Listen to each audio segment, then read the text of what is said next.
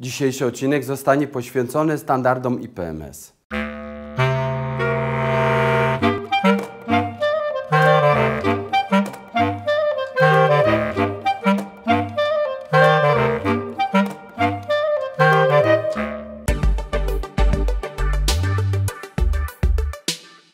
Na wstępie omówimy sobie genezę powstania tego standardu.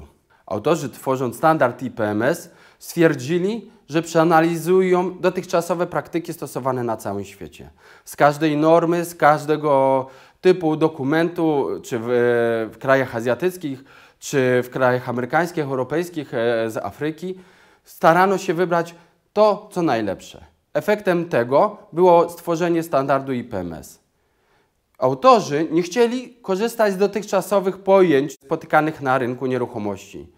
Nie chcieli używać pojęcia Giela, nie chcieli używać pojęcia Adam Factor, nie chcieli używać pojęcia powierzchni użytkowej, z tego względu, że w różnych standardach te pojęcia były inaczej definiowane.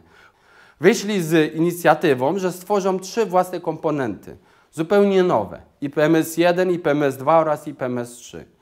IPMS 1 nie ma za zadania określenia powierzchni najmu i PMS1 jest odpowiednikiem naszej powierzchni całkowitej. Liczony jest po obrysie ścian zewnętrznych i wykorzystywany jest do metod wskaźnikowych, do generalnego oszacowania, e, scharakteryzowania budynku. I PMS2 również nie odnosi się do powierzchni najmu. Autorom przyświecało to, żeby móc porównywać efektywności budynków względem siebie. Tak, żeby budynki można było porównać jabłko do jabłka. W związku z powyższym IPMS-2 dzieli budynek dalej na e, mniejsze kategorie. Na komponent związane z e, konstrukcją, czyli słupy, ściany konstrukcyjne. Na komponenty związane z przejściami pionowymi, szachty, e, klatki schodowe. Kolejny komponent jest poświęcony komunikacji, pomieszczeniom technicznym, udogodnieniom, a na samym końcu charakteryzowana jest powierzchnia robocza, czyli przestrzeń, gdzie faktycznie najemca może ją zaaranżować na cele postawienia biurek, sal konferencyjnych. Dzięki temu, pomimo że nie określamy powierzchni najmu, przy wyborze, przy zakupie nieruchomości możemy, tak jak to robimy w przypadku AGD, w przypadku naszych domowych spraw, porównać, który budynek jest bardziej efektywny. IPMS-3 jest to standard, który został stworzony do określenia powierzchni najmu do wyłącznego korzystania. Pomimo autorzy bardzo chcieli zunifikować wszystko najbardziej jak się dało, to się okazało, że powierzchnie wspólne, ich metodologia liczenia na całym świecie jest bardzo odmienna od siebie. Nie dało się już tego zunifikować.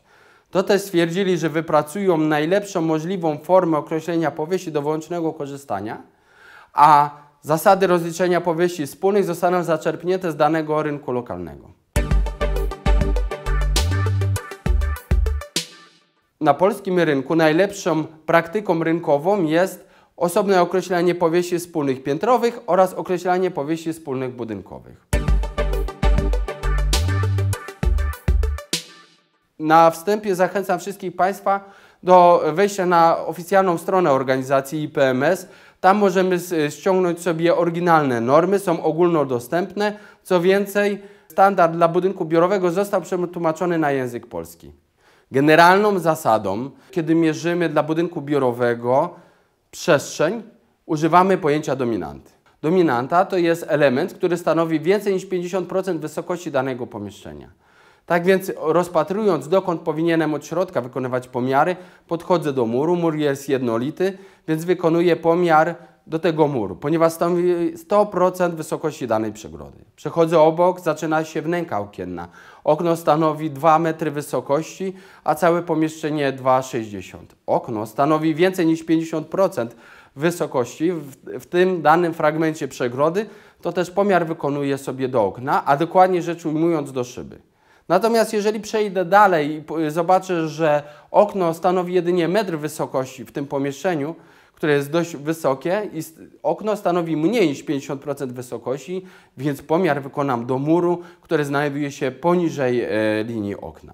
W przypadku powierzchni dowolnego korzystania najemcy i PMS-3 musimy pamiętać, że ściany rozdzielające dwóch najemców liczymy po osi do ścian zewnętrznych liczymy do dominantem, do dominanty, którą sobie omówiliśmy przed chwilą. Natomiast Ściany oddzielające od powierzchni wspólnych, czy piętrowych, czy budynkowych, nie wchodzą nam do powierzchni e, do wyłącznego korzystania najemcy, czyli do IPMS3. Dziękuję Państwu serdecznie za wysłuchanie odcinka i zapraszamy do odwiedziny na naszą stronę i oficjalną stronę organizacji Koalicji IPMS.